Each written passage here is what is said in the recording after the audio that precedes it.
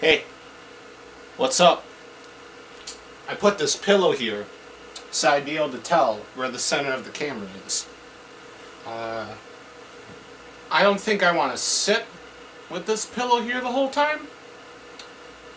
So, I'm going to move it back over here where it belongs. As you can see, I am roughing, repping, roughing, I am who? I am roughing. I am repping my Buff Corell merch. I am a Buff Corell fan.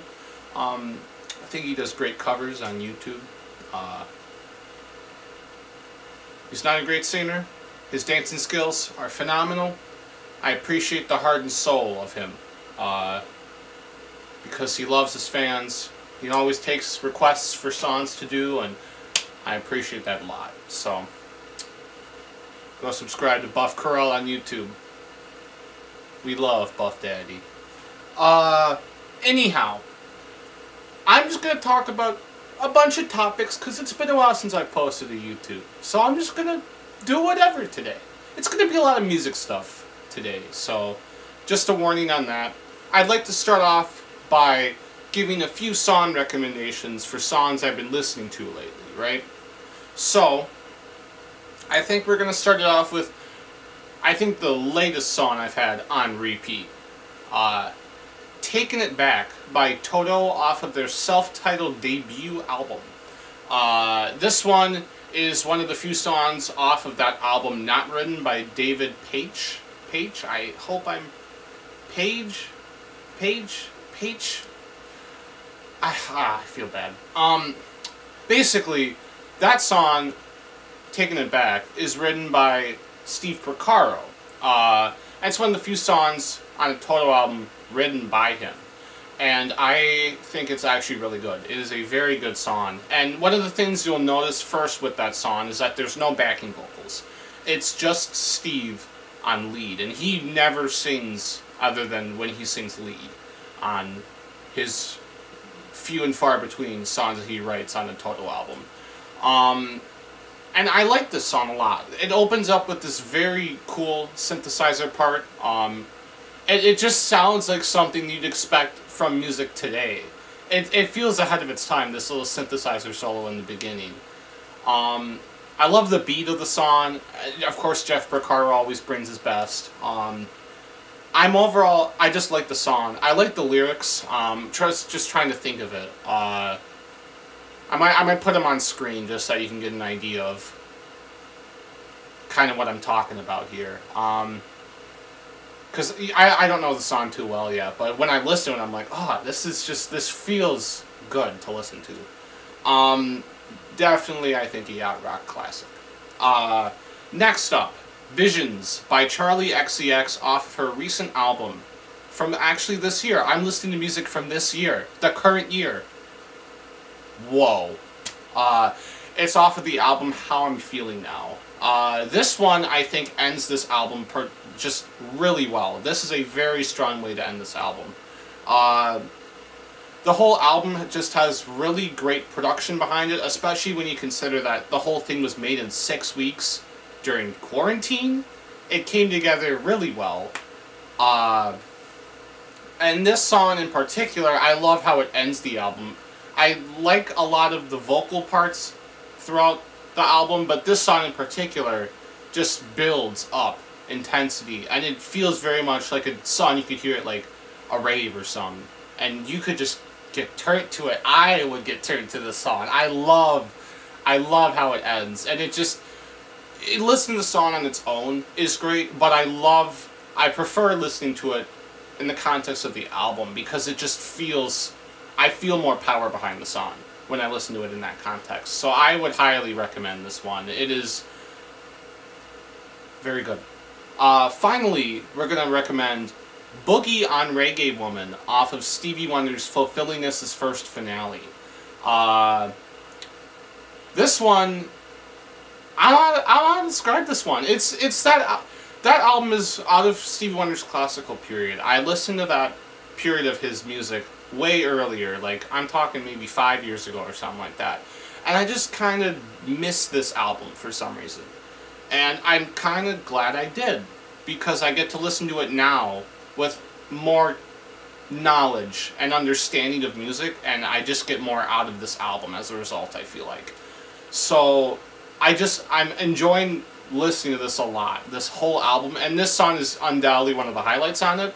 You've got the piano is undoubtedly the highlight of this song, and I'm talking, you know, sure there's synthesizers and the Yamaha throughout the whole thing, but like straight piano, there's a lot of it throughout um, Fulfillingness' First Finale, and this song is one of the highlights of it because it's just him grooving on the piano as he's got his vocal line just smooth. It feels great. It feels great to listen to.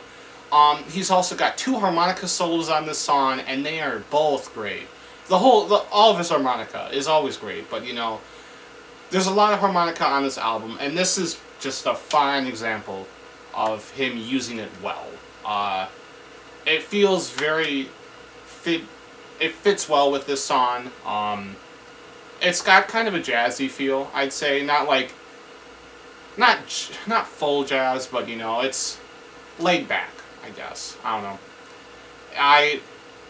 I, I just noticing looking through it too. He did every single instrument on this song, except for the congas. Uh, so he played a ton on this song in particular. And you know, he plays most of his instruments on his songs anyways, but it's it's just a great song. I again recommend it. So yeah, there are my recommendations again. Taking It Back by Toto, Visions by Charli XCX, and Boogie on Reggae Woman by Stevie Wonder. Uh,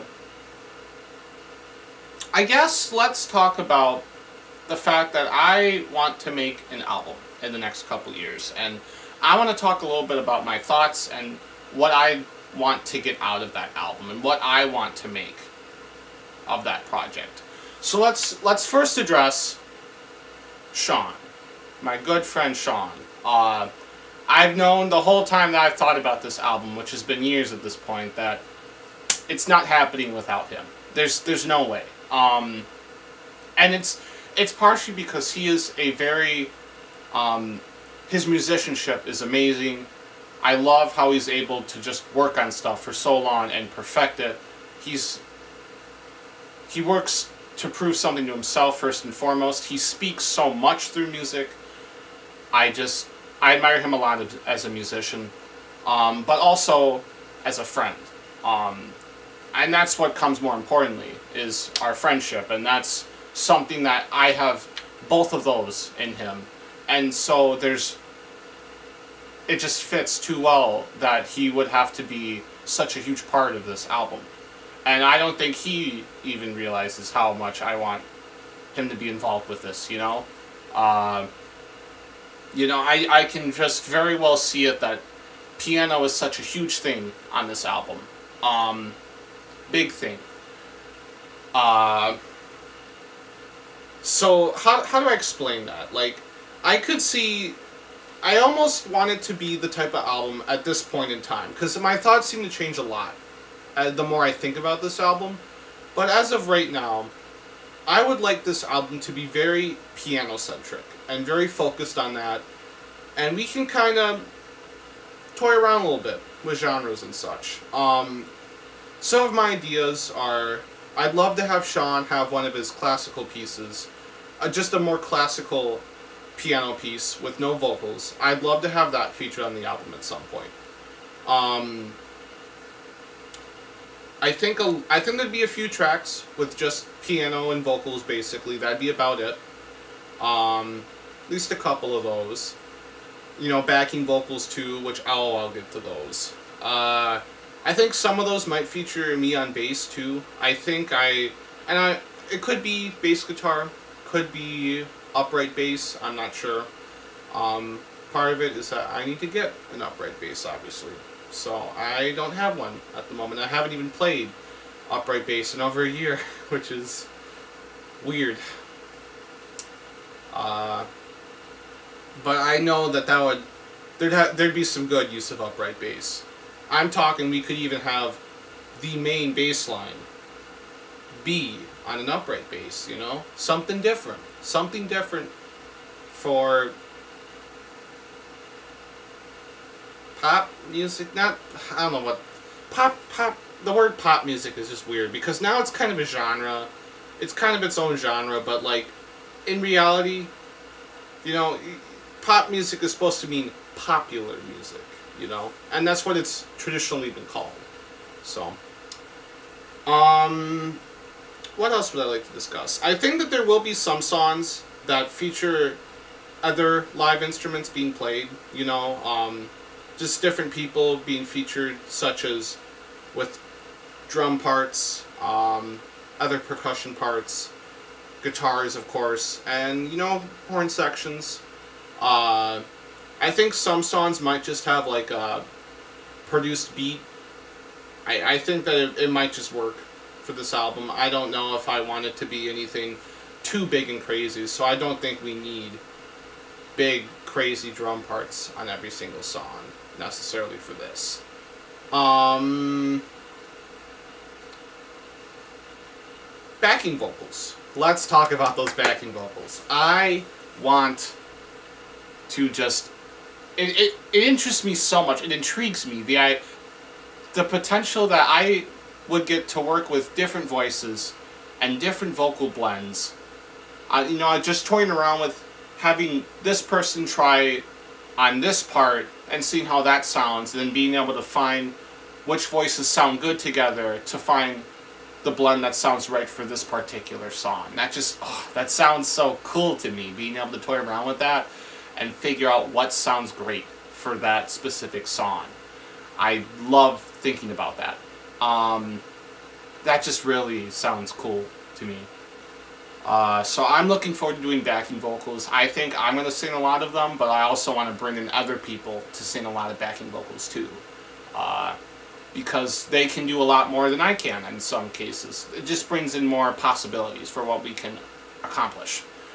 Uh, let's talk about the fact that I want to have an overture and an entr'acte for this album. Yeah, so basically, I think I want to have some sort of steady theme or leitmotif going throughout the whole album. Um, and I don't know exactly what it would represent, but it would just pop up throughout the album. And so I want to have that. So obviously we open up the overture with that. But then the overture also, the overture and the entr'acte, in different styles of course, is just a test of what how my arrangement skills, of how can I take these themes, these songs that I use, melodies, throughout the rest of the album, and translate them into a different style for the sake of making a medley. Um, and that sounds really cool to me. Like, I think I want to make the overture probably like a big band jazz piece. I, I'm not sure, but I've thought about that before, and it might be a little smaller scale now, because I think I'm scaling back the album a little bit. My the instrumentation of it, I think I'm scaling it back a bit with the whole piano thing, piano focus. Um, but the entr'acte would definitely be like a classical. Definitely be very classical. Um, orchestral, I should say. Uh, that sounds very cool uh, to me, to be able to work with arranging the, the melodies in different ways, just to see how they can translate into, into different genres and such. I, I really want to do that, and I think it would just be cool. It would set the album apart, you know to be like, we open with this. That kind of sets, lets you know what's going to happen throughout the rest of the album. Lets you know what you're going to hear. I really like that idea for an album because you just don't hear that happen a ton on like a pop album, you know? Uh, and I'm aware that I don't think this is going to be mainstream at all. I don't think, I'm not aiming for mainstream. I'm not even aiming to like necessarily have a huge audience if, if there are people that listen to this at all, that's cool. That's super cool because they are, that means that someone got something out of stuff that I wrote and I produced with other people. You know, so this group, whatever it ends up being, we were able to make something. We were able to make a product that people enjoyed and related to, or just understood, learned something from. I don't know, but if I can get that at all, that's cool. But it's also that I want to make this for me too. I want to make this and express my feelings about the last few years of my life since I left high school and did my year of college and now I've been kind of just working. I think I've got a lot of thoughts about what I what kind of stuff I want to write. And so I'm doing this first and foremost to express something and get stuff off my chest. Because I think a lot of this album is going to be me expressing regret for sure about a lot of actions discussing my thoughts on topics. I don't I don't know if it's going to discuss a ton of political stuff, you know. I know a lot of people do that in their music, but I don't know if that's going to happen so much, but just things I'm passionate about and I feel like I can write music about, you know. Um I would like to be able to just make this album and express what's on my mind. Um, that'd be pretty good. I actually think I've I've been moving at a pretty good pace here. I, I haven't really gone too in depth about anything, but I did I just want to keep this video moving so it's not like dwelling on one topic for too long and you know taking forever to get through this and I feel like I've been talking pretty smoothly which is good. Uh, a little bit of Oz, of course, you know. That's that's what happens with me. But yeah, I guess that's that's most of it. I'm sure there's stuff I forgot, but I don't know. I, I, I think that kind of you get the gist of what I want to write. You know, I want to I want to feature session musicians, of course, who can play on tracks, and you know, just local people who can bring their stuff to a couple songs on the album. You know, depending on what I need, and yeah, I'm looking forward to it. Uh, I, I'm going to check the time on the video real quick. Okay, I've got less than three minutes left to record, and I'm probably not centered anymore, which is a rip, but yeah, I guess the only other thing I'm going to say is I've been trying to occasionally stream on Twitch. Uh, it's been going alright. Uh, I've mostly just been streaming Donkey Kong 64 Randomizer. Uh, Sean's usually there. Occasionally we got Tyler or Andrew. Uh, and yeah, we're not up to too much, but it's fun. Uh, it's just cool that anyone shows up and watches it, so I don't know. I don't really send out too much promotion ahead of time, but if you would like to get that promotion and figure out when we're going to stream. I do have a Twitter that I will link in the bio and the description of this video below. Um, I'll link the Twitch too, but probably not going to stream tonight. Uh, I mean, I could. I could, actually. Maybe I will. Who knows? I'll, I'll announce in the description if, if I'm going to stream tonight, so... Yeah, it'd be cool to see you if you feel like showing up. Uh, we're probably just going to finish up my current run of DK64 randomizer tonight if I do decide to stream tonight. So, yeah, I guess that's it for this video. So, I appreciate you watching. Uh, thank you. And I hope that you enjoyed me rambling for 20 minutes or so about music and such. I hope that you got something out of this. I'm not, I know I'm not going to edit this at all, so it's just going straight up like this. So, alright, uh, have a good one. Maybe I'll post another one of these next week or something, who knows. Alright, goodbye. Toodaloo!